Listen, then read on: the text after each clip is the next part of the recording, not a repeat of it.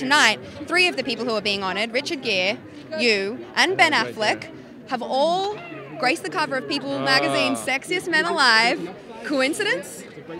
I think not. Once upon a time, you've all graced the cover of People's Sexiest Man Alive issue. Coincidence? That's one of the most insane things I've ever heard in my life. It's true though. I know, and they really wanted the award. I am definitely number three in that list. Who did you bring tonight? Who's your date? Uh, nobody. And is Jennifer? Where's Jennifer tonight? She's not your date. Jennifer says you see how this works. Is one person goes out, the other person stays home with three kids. How's the new baby?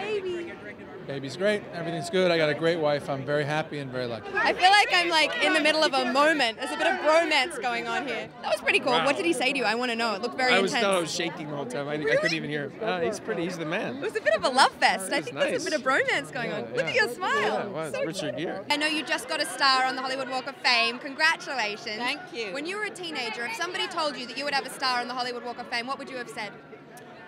I would have said, bring it on. Yeah, I like, and that's why but, you are um, where you are. But um, I would never have expected it in those days, I have to say. I never have dreamt. And I know your friend George, who's also a producer on the film, he he got an award at this festival last year. Did he call you or speak to you about the fact that you guys are getting Ensemble Award? He did not give me any specific tips about the Palm Springs Awards. Did he send you a congratulations?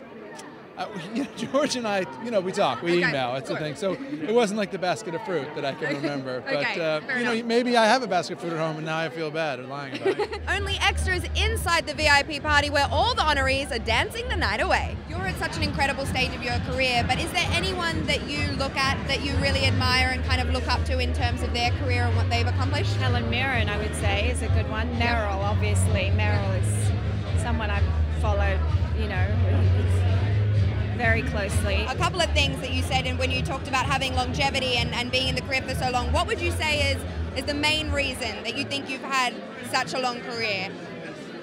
I wanted it That was my favorite thing you said. What was it? Uh, to want what you want. more than you think you're capable of wanting It. I love that. That's amazing. Well, congratulations. Where is this award going to go in your house? I, I don't really know. Uh, I, I'll figure out a place. Okay. Thank you for watching Extra on YouTube. And for 24 7 updates on celebrity news, subscribe to our channel here, like us on Facebook here, or follow us on Twitter here. And if you want your voice heard, leave a comment below, Where? right there.